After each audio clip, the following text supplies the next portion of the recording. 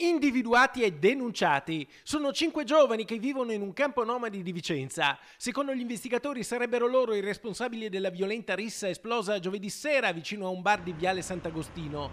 La polizia allertata era arrivata sul posto mentre i partecipanti alla rissa cercavano di darsi alla fuga. Gli agenti però erano riusciti a fermarli e a identificarli prima che potessero allontanarsi. In tutto nove persone coinvolte, uno è risultato ferito in varie parti del corpo. Si tratta di un 38 ventenne marocchino che, supportato da tre testimoni, ha raccontato di essere stato aggredito dai cinque giovani. Secondo la ricostruzione pare che al momento della chiusura del locale i cinque, accusandolo di aver graffiato un'automobile, lo abbiano colpito con foga, con calci e pugni. Solo l'intervento di alcuni testimoni e l'arrivo della polizia ha evitato che il pestaggio potesse sfociare in tragedia. Il cittadino marocchino all'ospedale San Bortolo, sottoposto a intervento chirurgico, ha una prognosi di 30 giorni.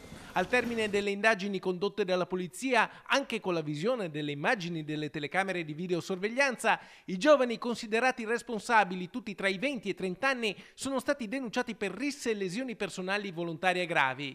In più il questore Paolo Sartori ha emesso nei loro confronti il divieto di accesso negli esercizi pubblici per due anni. In caso di violazione rischiano sino a due anni di carcere e una multa fino a 20.000 euro.